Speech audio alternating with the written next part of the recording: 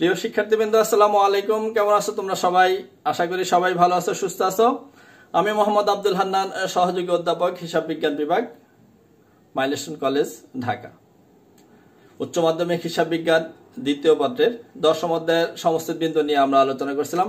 গত তিন লেকচারে আমরা মোটামুটি একটা আয়ত্তে নিয়ে আসছে এই চ্যাপ্টার সম্পর্কে। আজকে আমি আরও তিনটা নিয়ে, অঙ্ক নিয়ে আলোচনা করব। বোর্ডেরই তিনটা অঙ্ক এবং এই তিনটা অঙ্কের সাথে আরও তিনটে অঙ্ক তোমাদেরকে হোমওয়ার্ক দেওয়া হবে। বা দেওয়া হয়েছে, তোমরা হোমওয়ার্কগুলো আশা করি করবে। চলো আজকে চতুর্থ লেকচার ফলো করা যাক।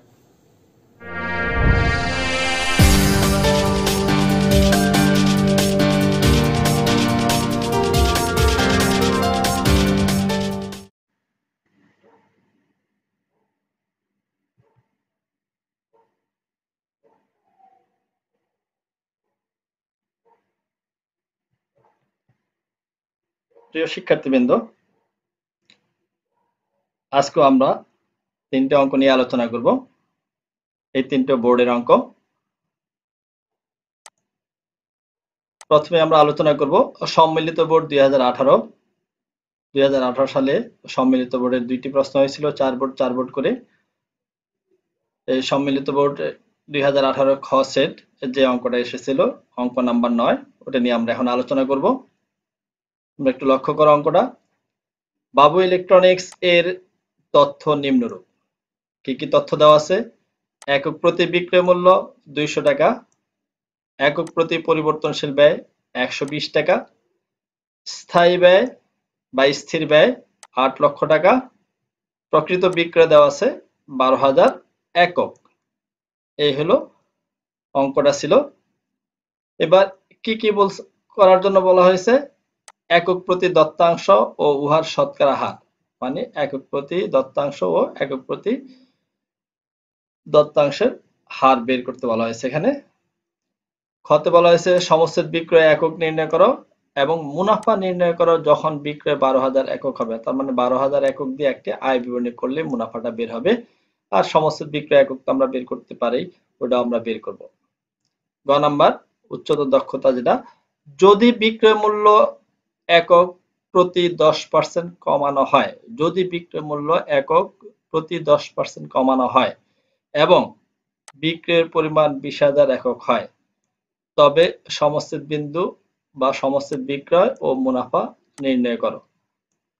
তার মানে আমরা যেভাবে করছে গ নাম্বার, আমরা ওইভাবে অঙ্কটা সমাধান করতে পারব।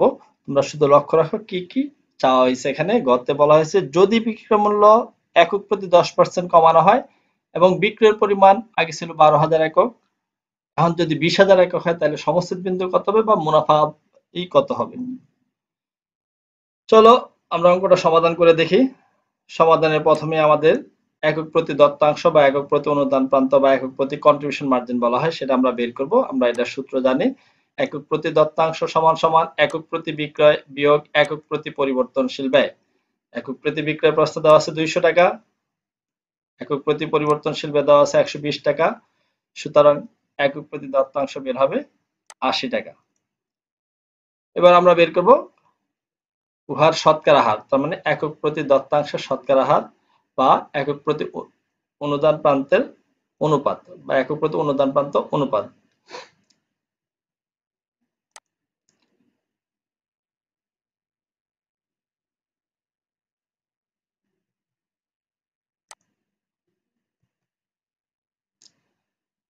দত্তাংশের হার, দত্তাংশের শতকরা হার, এটা সূত্র আমরা জানি, একক প্রতি দত্তাংশ ভাগ একক প্রতি বিক্রয় গুণন একশো। একক প্রতি দত্তাংশ আমরা বের করলাম আশি টাকা, একক প্রতি বিক্রয় মূল্য দেওয়া আছে দুইশো টাকা, আর গুণন একশো হয় চল্লিশ পার্সেন্ট তার মানে শতকরা হার চল্লিশ পার্সেন্ট এটাকে অনুদান প্রান্ত অনুপাত বলা হয়, শতকরা হারও বলা হয়। এবার আসো, খ নম্বরে আমাদেরকে চাওয়া হয়েছে সমস্ত বিক্রয় একক নির্ণয় করো। এটা সূত্র তোমরা সবাই জানো, স্থায়ী ব্যয় ভাগ একক প্রতি দত্তাংশ। স্থায়ী ব্যয় প্রস্তুত দেওয়া আছে আট লক্ষ টাকা, একক প্রতি দত্তাংশ আমরা বের করেছিলাম আশি টাকা, ভাগ দিলে দশ হাজার একক হয় সমস্ত বিক্রয় একক। খ নম্বরে আমাদের দুইটা অংশ চেয়েছিল, একটা বছর সমস্ত বিক্রয় একক নির্ণয় করো, আর বারো হাজার বিক্রয় একক হলে মুনাফা কত হবে? তাহলে আমরা একটা আয় বিবরণী করব, বারো হাজার একক দিয়ে আয় বিবরণী হলো, প্রথমে আমরা বিক্রয় লিখব, একটা ঘর কেটে নিবা তোমরা, বিবরণ টাকা দিয়ে প্রথমে বিক্রয়। কত একক দিয়ে? বারো হাজার একক দিয়ে। বিক্রয় বারো হাজার গুণন একক প্রতি বিক্রয় দুইশো টাকা, হয় চব্বিশ লক্ষ টাকা। বাদ পরিবর্তনশীল ব্যয় বারো হাজার একক গুণন একশো বিশ টাকা করে একক প্রতি পরিবর্তনশীল ব্যয় গুণ করলে হয় চোদ্দ লাখ চল্লিশ হাজার। এই চব্বিশ লাখ থেকে চোদ্দ লাখ চল্লিশ হাজার বাদ দিলে দত্তাংশ বা অনুদান প্রান্ত হয় নয় লক্ষ ষাট হাজার টাকা। এই নয় লক্ষ ষাট হাজার থেকে আমরা যদি স্থায়ী ব্যয় বাদ দিই, আট লক্ষ টাকা, তাহলে এই বারো হাজার একক বিক্রি করলে মুনাফা হয় এক লাখ ষাট হাজার টাকা।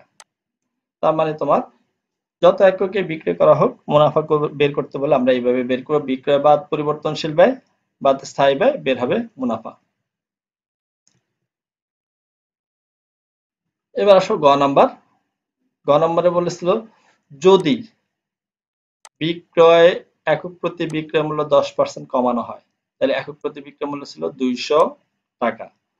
দশ পার্সেন্ট যদি কমানো হয়, দুইশো টাকা দশ পার্সেন্ট হয়, বিশ টাকা। তাহলে একক প্রতি দত্তাংশটা আমরা বের করতে পারব, একক প্রতি বিক্রয় বিয়োগ একক প্রতি পরিবর্তনশীল ব্যয়। আমাদের এটা লাগবে কারণ আমাদের সমস্ত বিক্রয় বের করতে বলা হয়েছে।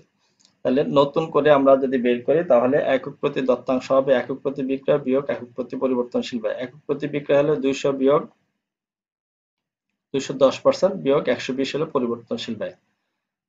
তাহলে একশো আশি বিয়োগ একশো বিশ, ষাট টাকা হয় আমাদের নতুন দত্তাংশ বা একক প্রতি দত্তাংশ ষাট টাকা। এবার আমরা সমস্ত বিক্রয় একক বের করতে পারব। ঘ নম্বরে যেটা চাওয়া হয়েছে আমাদের, স্থায়ী ব্যয় ভাগ একক প্রতি দত্তাংশ। স্থায়ী ব্যয় আশি হাজার, একক প্রতি দত্তাংশ নতুন আমরা বের করলাম কত? ষাট টাকা। সুতরাং সমস্ত বিক্রয় একক হবে গতে তেরো হাজার তিনশো তেত্রিশ একক। এখন টাকা বের করব কীভাবে? এই তেরো হাজার তিনশো একক যদি আমরা বিক্রয় মূল্য দিয়ে গুণ করি, তাও কিন্তু টাকা বের হবে। আরেকটা সহজ নিয়ম আছে, এই সূত্রটাই তোমরা ইউজ করবে সমস্ত টাকা, স্থায়ী ব্যয় ভাগ একক প্রতি দত্তাংশ গুণন একক প্রতি বিক্রয় মূল্য। তাহলে সরাসরি টাকাটা বের হবে, দেখো, আট লক্ষ টাকা, স্থায়ী ব্যয় একক প্রতি দত্তাংশ ষাট হাজার। এককের সূত্রই জাস্ট এটার সাথে আমরা একক প্রতি বিক্রয়টা গুণ করে দিলে সরাসরি টাকাটা বের হবে চব্বিশ লক্ষ টাকা। তোমরা তেরো হাজার তিনশো তেত্রিশ একক এটাকে একক প্রতি বিক্রয় দিয়ে গুণ করলেও কিন্তু এই টাকাটা বের হবে। তো যেহেতু দশমিক বের হতে পারে, সেজন্য আমরা সরাসরি এটা বের করলাম চব্বিশ লক্ষ টাকা। যেভাবে করো, তোমার অঙ্ক কারেক্ট হবে।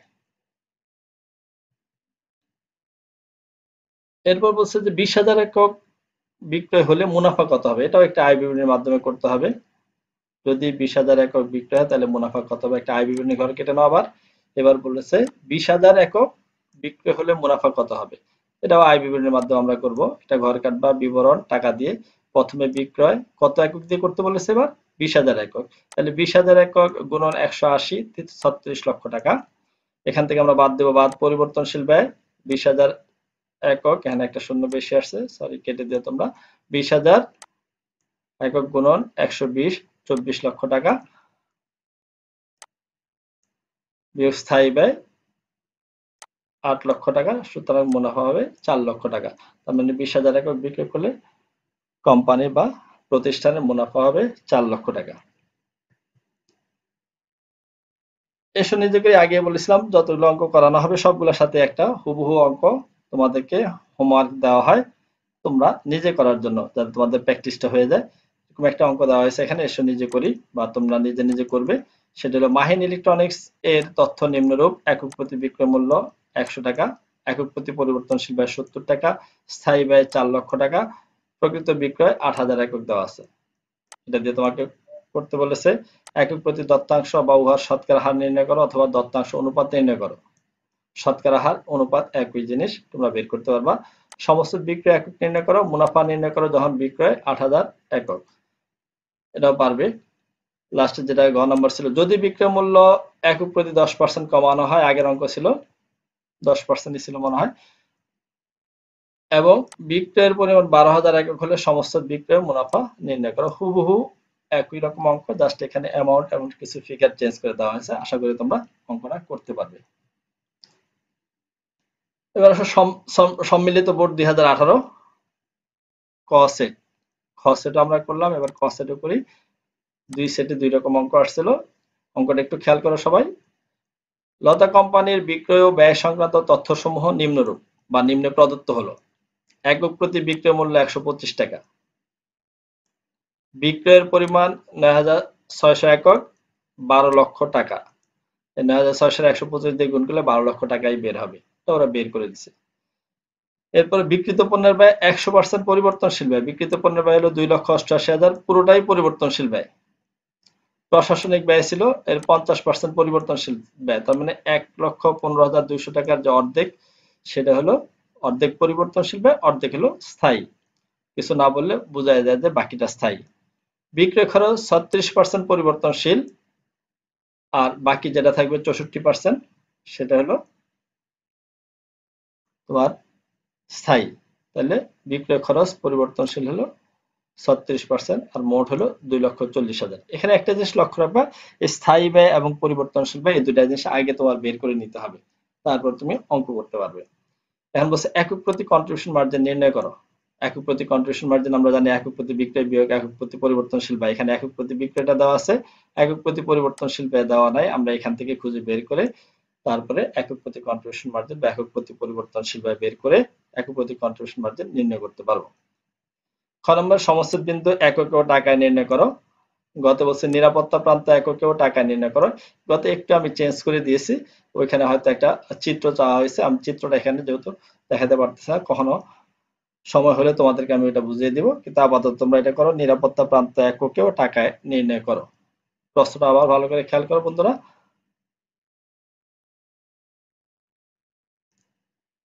এবার আমরা এটা সমাধান করে দেখি। আগে বলেছিলাম আমি যে আমরা আগে যেহেতু এখানে স্থায়ী ব্যয়, পরিবর্তনশীল ব্যয় আলাদা করে দেওয়া নেই, আমরা এখানে আলাদা করে নিতে হবে। কীভাবে? গণনা কার্য করে। বিবরণ, মোট ব্যয়, পরিবর্তনশীল ব্যয়, স্থায়ী ব্যয়। প্রথমে ছিল বিকৃত পণ্যের ব্যয়। মোট ছিল দুই লক্ষ অষ্টাশি হাজার। পুরোটাই বলছে পরিবর্তনশীল। আমরা এখানে পুরোটাই দিলাম পরিবর্তনশীল। আর বিকৃত পণ্যের ব্যয় স্থায়ী নাই। প্রশাসনিক ব্যয় দেওয়া ছিল এক লক্ষ পনেরো হাজার। প্রশাসনিক ব্যয় দেওয়া ছিল এক লক্ষ পনেরো হাজার। পরিবর্তনশীল ব্যয় বছর পনেরো পার্সেন্ট তার মানে সাতান্ন হাজার ছয়শো হলো পরিবর্তনশীল, আর বাকি অর্ধেক হলো স্থায়ী। বিক্রয় খরচ দুই লক্ষ চল্লিশ হাজার টাকা দেওয়া ছিল। ছত্রিশ পার্সেন্ট বলছে পরিবর্তনশীল, তার মানে ছিয়াশি হাজার চারশো। এই দুই লক্ষ চল্লিশ হাজারের ছত্রিশ পার্সেন্ট দিলে ছিয়াশি হাজার চারশো টাকা হয়। আর বাকি থাকে চৌষট্টি পার্সেন্ট এই দুই লক্ষ চল্লিশ হাজারের চৌষট্টি পার্সেন্ট দিলে হয় এক লক্ষ তিপ্পান্ন হাজার ছয়শো টাকা। তার মানে আমাদের স্থায়ী ব্যয়, পরিবর্তনশীল ব্যয় ভাগ করা হয়ে গেল। এবার আমরা যোগ করে দেখি। পরিবর্তনশীল ব্যয় যোগ করলে হয় চার লক্ষ বত্রিশ হাজার, আর স্থায়ী ব্যয় হলো দুই লক্ষ এগারো হাজার দুইশো। স্থায়ী ব্যয় স্থায়ী থাকবে, কিন্তু আমাদের কাজ করতে হবে পরিবর্তনশীল ব্যয়কে নিয়ে। পরিবর্তনশীল ব্যয় কারণ একক প্রতি স্থায়ী, তার মানে পরিবর্তনশীল ব্যয় একক প্রতি বের করে নিতে হবে। কীভাবে বের করব? একক প্রতি পরিবর্তনশীল ব্যয় পরিবর্তনশীল ব্যয় মোট ছিল চার লক্ষ বত্রিশ হাজার, আর আমাদের অঙ্কে এক প্রতি সরি বিক্রয়ের পরিমাণ ছিল নয় হাজার ছয়শো একক। তাহলে চার লক্ষ বত্রিশ হাজারকে নয় হাজার ছয়শো দিলে পঁয়তাল্লিশ টাকা হয় একক প্রতি পরিবর্তনশীল ব্যয়। এবার আমরা ক নাম্বারের অ্যান্সারটা করতে পারব। একক প্রতি কন্ট্রিবিউশন মার্জিন বা একক প্রতি দত্তাংশ, এটা বের করার সূত্র হলো একক প্রতি বিক্রয় বিয়োগ একক প্রতি পরিবর্তনশীল ব্যয়। একক প্রতি বিক্রয় হলো একশো পঁচিশ টাকা পরিবর্তনশীল ব্যয় একক হলো পঁয়তাল্লিশ টাকা একটু আগে বের করলাম, বিয়োগ করলে হয় আশি টাকা। সুতরাং একক প্রতি কন্ট্রিবিউশন মার্জিন হলো আশি টাকা। এবার খ নাম্বার সমস্ত বিন্দু একক। এটা সূত্র তোমরা জানো, স্থায়ী ব্যয় ভাগ একক প্রতি অনুদান প্রান্ত। স্থায়ী ব্যয় ভাগ একক প্রতি অনুদান প্রান্ত। স্থায়ী ব্যয় ভাগ একক প্রতি অনুদান প্রান্ত। স্থায়ী ব্যয় হলো দুই লক্ষ এগারো হাজার। একটু আগে আমরা আলাদা করে বের করেছি।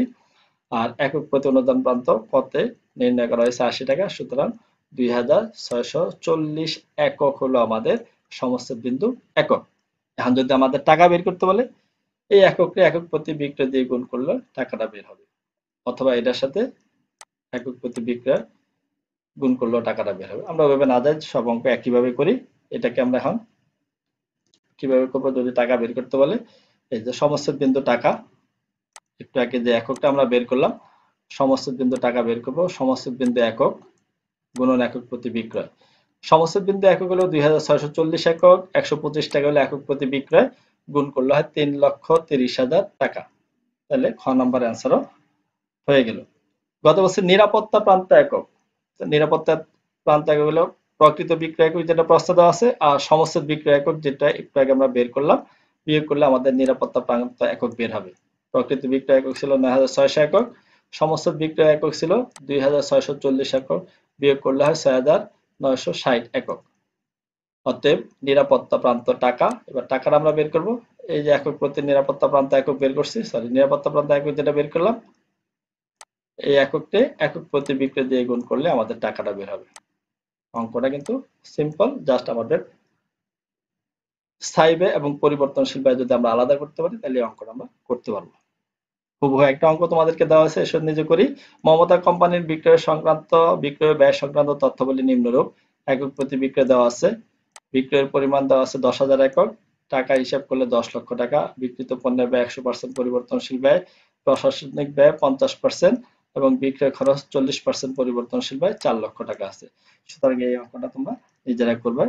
রিকোয়ারমেন্ট আগের মতোই আছে, একক প্রতি কন্ট্রিবিউশন মার্জিন সমস্ত বিন্দু একক ও টাকায় নির্ণয় করো, নিরাপত্তা প্রান্ত একক ও টাকায় নির্ণয় করো, অঙ্কটা তোমরা তুলে নাও।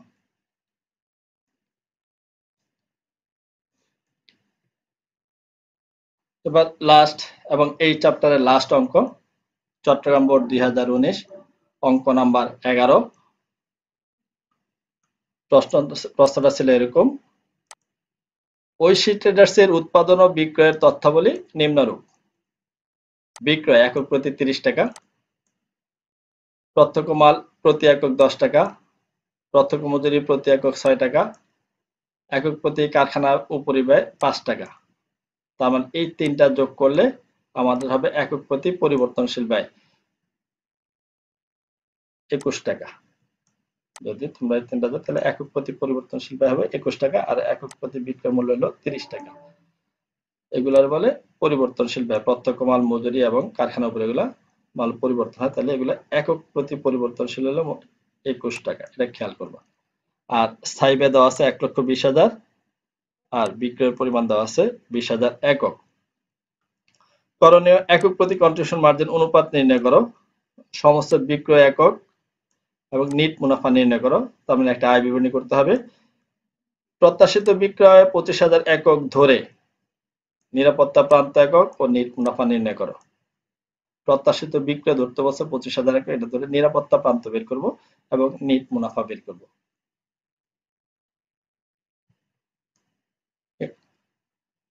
সমাধান।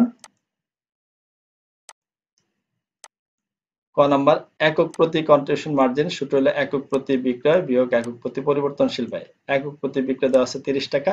একক প্রতি পরিবর্তনশীল ব্যয় তিনটা যোগ করলে কত হয়? একুশ টাকা। একটু আগে দেখিয়েছিলাম তোমাদেরকে, তিরিশ থেকে একুশ গেলে নয় টাকা হয় তোমাদের একক প্রতি কন্ট্রিবিউশন মার্জিন।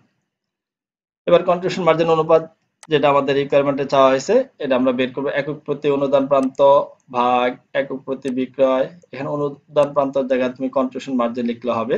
একক প্রতি কন্ট্রিবিউশন মার্জিন ভাগ একক প্রতি বিক্রয় গুণন একশো। তাহলে একক প্রতি কন্ট্রিবিউশন মার্জিন আমরা বের করছি নয় টাকা। বিক্রয় হলো একক প্রতি তিরিশ টাকা গুণন একশো, তার মানে হলো তিরিশ পার্সেন্ট হলো কন্ট্রিবিউশন মার্জিন অনুপাত। এটা এতক্ষণ তোমরা পেরে যাওয়ার কথা। খ নম্বরে আসো। সমস্ত বিক্রয় একক। এটা সূত্র তোমরা জানো, স্থায়ী ব্যয় ভাগ একক প্রতি কন্ট্রিবিউশন মার্জিন বা একক প্রতি অনুদান প্রান্ত স্থায়ী ব্যয় ছিল এক লক্ষ বিশ হাজার একক প্রতি অনুদান প্রান্ত বা কন্ট্রিবিউশন মার্জিন নয় টাকা ভাগ দিল তেরো হাজার তিনশো তেত্রিশ একক। তাহলে তেরো হাজার তিনশো তেত্রিশ একক বের হলো। এবার বলছে নিট মুনাফা বের করে। নিট মুনাফা সাধারণত আয় বিবরণী করে তোমরা করবে। আমি এখানে সংক্ষেপে দেখিয়ে দিয়েছি। তোমরা যেহেতু এতক্ষণে আয় বিবরণী বা এতগুলো অঙ্কের মধ্যে আয় বিবরণী করেছ, সেভাবেই করবে। বিবরণ টাকা দিয়ে একটা ঘর কাটবে, তার প্রথমে লিখবা বিক্রয়, বিশ হাজার গুণন তিরিশ যে টাকাটা এখান থেকে বাদ দিবা বাদ, পরিবর্তনশীল ব্যয় বিশ হাজার গুণন একুশ বিয়োগ স্থায়ী ব্যয় এক লক্ষ বিশ হাজার। তাইলে হয় ছয় লক্ষ বিয়োগ চার লক্ষ বিশ হাজার বিয়োগ এক লক্ষ বিশ হাজার। সুতরাং নিট মুনাফা হয় ষাট হাজার টাকা। এইভাবে করলেও তোমার অঙ্ক হবে এবং নাম্বার তোমাকে দিবে। যেহেতু আমরা আয় বিবরণের মাধ্যমে শিখেছি, তোমরা সবসময় ওইভাবে করারই চেষ্টা করবে।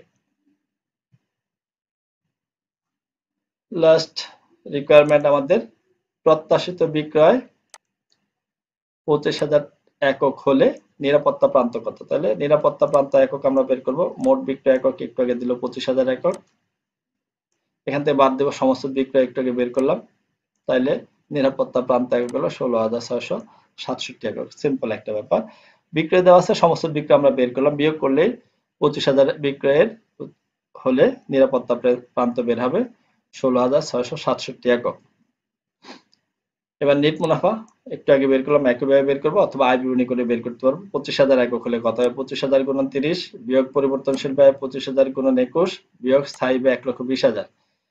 তাহলে সাত লক্ষ পঞ্চাশ হাজার বিয়োগ পরিবর্তনশীল ব্যয় পাঁচ লক্ষ পঁচিশ হাজার বিয়োগ এক লক্ষ বিশ হাজার, থাকে এক লক্ষ পাঁচ হাজার হলো নেট মুনাফা।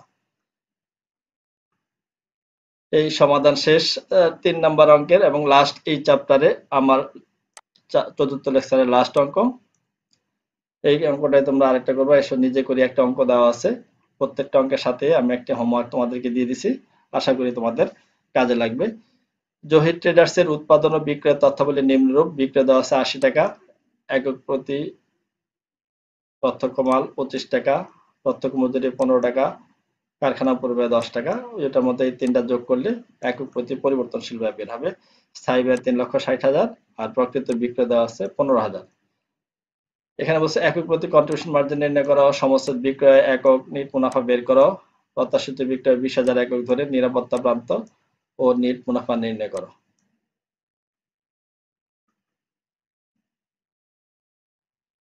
আশা করি অঙ্কটা তুলে নিয়েছে এবং তোমরা করে রাখবে। এই চ্যাপ্টারের চতুর্থ লেকচারের এখানেই সমাপ্তি। আশা করি এই চারটে লেকচার তোমরা যদি ভালোভাবে আয়ত্ত করতে পারো, এই চ্যাপ্টারে যে কোনো অঙ্ক তোমরা বোর্ড পরীক্ষায়, যে কোনো পরীক্ষায় কলেজ পরীক্ষা হোক, সবগুলাতে তোমরা উত্তর করতে পারবে। সবাইকে ধন্যবাদ ধৈর্য সহকারে লেকচার শোনার জন্য। আবারও দেখা হবে অন্য কোনো চ্যাপ্টার নিয়ে অন্য কোনো দিন। সে পর্যন্ত সবাই ভালো থাকো, সুস্থ থাকো। আল্লাহ হাফেজ।